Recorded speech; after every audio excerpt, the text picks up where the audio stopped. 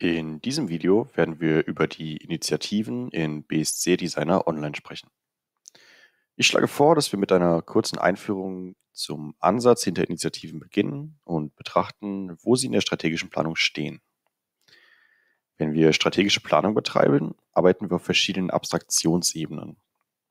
Wir beginnen mit einigen allgemeinen Dingen, wie der Mission des Unternehmens, der Vision und den strategischen Themen dann bewegen wir uns auf die untere Abstraktionsebene. Dort sprechen wir über die Perspektiven und die spezifischen Geschäftsziele, wie in diesem Fall das Geschäftsziel Kundenservice verbessern. Dann gehen wir weiter und diskutieren, was genau wir mit einem Geschäftsziel meinen. Und um diese Frage zu beantworten, verwenden wir Indikatoren. Wir definieren Frühindikatoren, die uns helfen, unsere Bemühungen zu quantifizieren wie in diesem Fall den Indikator durchschnittliche Antwortzeit. Und wir definieren auch Spätindikatoren, die uns helfen, die Ergebnisse zu quantifizieren. In diesem Fall ist das die Kennzahl Kundenzufriedenheit. Das sind die verschiedenen Abstraktionsebenen der strategischen Planung. Wir wissen, was die Gesamtstrategie ist, wir kennen die Geschäftsziele und wir wissen, wie wir diese Ziele messen können. Ein Teil, der fehlt, ist die Antwort auf die Frage, wie genau werden wir die festgelegten Ziele erreichen? Wie genau wollen wir in diesem Fall den Kundenservice verbessern? Um die Antwort auf diese Frage abzubilden, können wir Initiativen verwenden. Diese beiden Zeilen hier mit dem kleinen Klemmbrett-Symbol sind die Initiativen, die auf dieses Ziel ausgerichtet sind. In diesem Beispiel werden wir, um den Kundenservice zu verbessern, Folgendes tun. Einmal einen Verbesserungsplan entwickeln, und einen Omnichannel-Kundenservice implementieren. Lassen Sie uns nun einige Details zur Verwaltung von Initiativen in BSC Designer Online besprechen. Um zum Initiativendialog zu gelangen, gehen wir auf die Registerkarte KPIs und klicken auf die Schaltfläche Initiativen. Alternativ können wir auch einfach die Taste I auf unserer Tastatur drücken. Das ist eine der Möglichkeiten, hierher zu gelangen.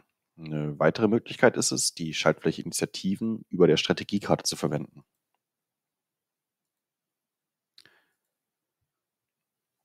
Oder einfach direkt auf die Initiative zu klicken, die mit dem Ziel ausgerichtet ist.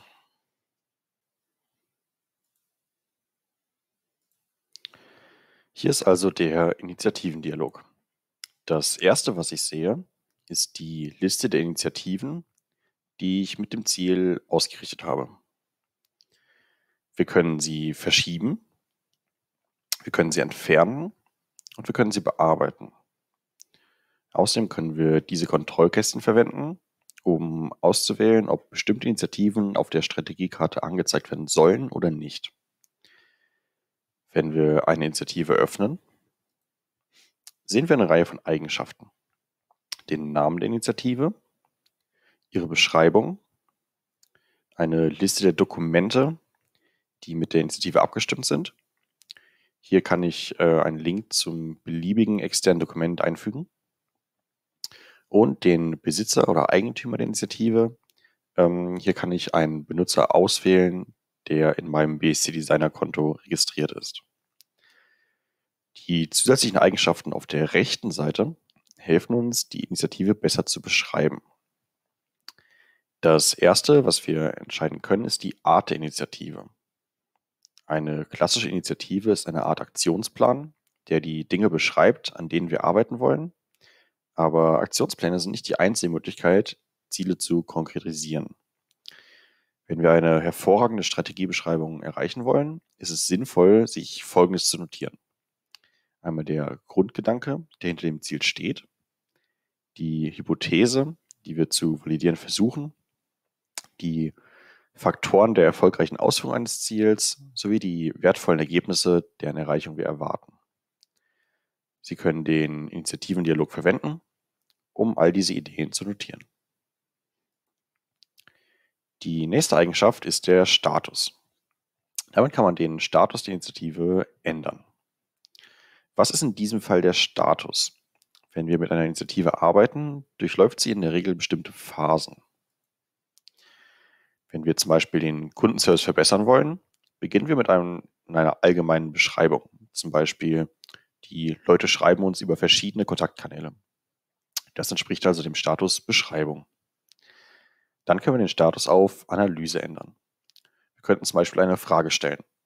Müssen wir die Benutzer wirklich über all diese verschiedenen Kommunikationskanäle hinweg unterstützen? Wenn die Frage mit Ja beantwortet wird, werden wir mit der Arbeit an dieser Initiative beginnen bzw. ihren Status auf in Bearbeitung ändern. Sobald das erledigt ist, ändern wir den Status auf Überprüfen, damit der Vorgesetzte die Ergebnisse überprüfen kann. Und abschließend können wir den Status auf Fertig ändern. Dieser Workflow hilft uns, die Initiativen zu verfolgen, um zu wissen, wo wir in Bezug auf die Strategieausführung stehen. Wenn Sie der Meinung sind, dass Sie etwas Ähnliches in Ihrer Organisation haben, können Sie jederzeit auf die Einstellungen gehen und in der Registerkarte Workflow können Sie diese Status entsprechend dem ändern, was Sie in Ihrer Organisation verwenden. Wie werden die Status also in der Praxis verwendet? Wir können zum Beispiel einen Aktionsplanbericht erstellen. Und wie Sie sehen können, ist eine der Spalten in diesem Bericht der Status der Initiative. So können Sie eine Zusammenfassung erhalten, wie unsere Strategie ausgeführt wird.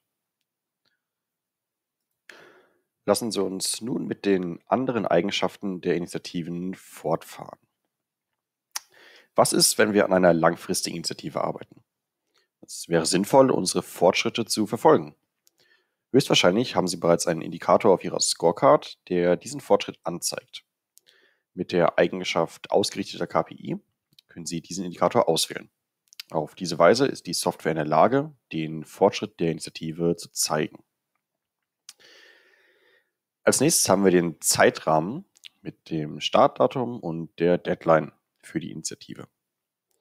Wir wechseln auf die Registerkarte Sport, wo wir ein Zeitdiagramm haben. In diesem Diagramm sind die kleinen Plus-Symbole zu sehen. Wenn man mit der Maus über diese Symbole geht, sieht man den Namen der entsprechenden Initiative. So sieht man, dass vermutlich einige Initiativen zu der Veränderung beigetragen haben, die in der Grafik zu sehen sind.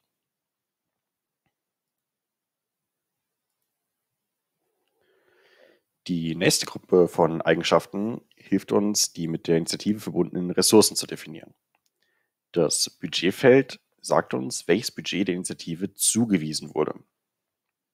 Aus der Liste der Währungen können wir eine der am Konto verfügbaren Währungen auswählen. Diese Währungen können auf der Registerkarte Organisation der Einstellungen angepasst werden.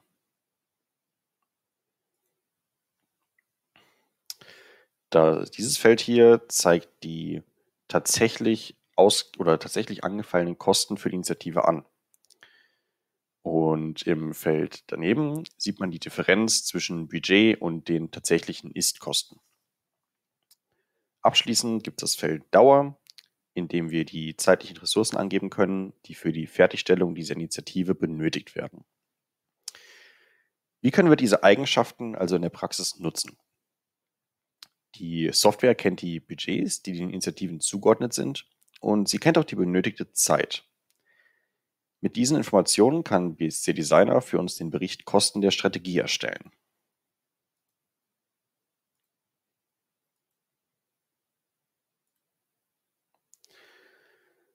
In diesem Bericht werden all diese Details zusammengefasst und die Gesamtkosten für die Ausführung der Strategie werden berechnet. Eine interessante Frage ist, was die Software macht, wenn wir Initiativen in verschiedenen Währungen definiert haben wie es zum Beispiel vorkommt, wenn ein Unternehmen in verschiedenen Märkten arbeitet. Nun, die Software verwendet Wechselkurse und konvertiert Budgets in verschiedenen Währungen in ihre Hauptwährung. Das ist in diesem Bericht zu sehen. Die Beträge sind in meiner Hauptwährung, in meinem Fall sind das Euro, angegeben und die Gesamtsumme wird ebenfalls in meine Hauptwährung umgerechnet. Wenn wir schließlich aktiv mit Initiativen und Budgets arbeiten, können wir die Registerkarte KPIs nach unseren Bedürfnissen anpassen, indem wir auf diese Schaltfläche hier klicken. Hier sind die verfügbaren Spalten. die Spalte Initiativen mit der Schaltfläche Initiativen, die wir bereits verwendet haben. Initiativen alle, um alle Initiativen anzuzeigen. Und es gibt auch Initiativen aktuell, um nur Initiativen anzuzeigen, deren Zeitleiste zum aktuell gewählten Zeitraum gehört. Lassen Sie uns diese Spalte anzeigen. Gehen wir nun zurück zum Initiativendialog.